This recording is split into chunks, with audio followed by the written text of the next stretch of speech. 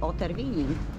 Återvinning är ju att eh, se på det, eh, det material som vi inte vill ha kvar hemma hos oss på ett, eh, på ett sätt som en resurs istället för någonting som man bara slänger bort.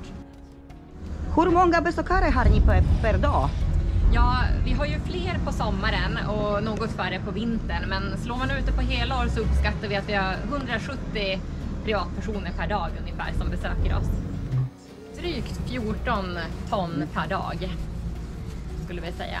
Ja. Ibland mer. Och farligt avfall, det kan ju vara allt från eh, lysrör, eh, oljor och sådana saker. Så att eh, där har vi flera samarbetspartners då, som hjälper oss. Varför folk återvinna?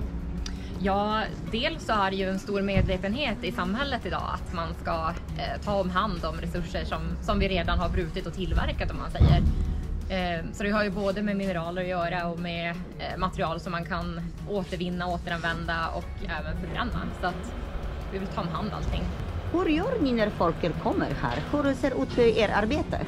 Ja, då har vi mina jätteduktiga kollegor här som möter upp och kan svara på alla frågor som finns. Och det är väldigt härligt, man får vara ute mycket och man får träffa mycket människor så det är riktigt roligt. Plus att det känns som att man är en vardagshjälte som får jobba med återvinning av material.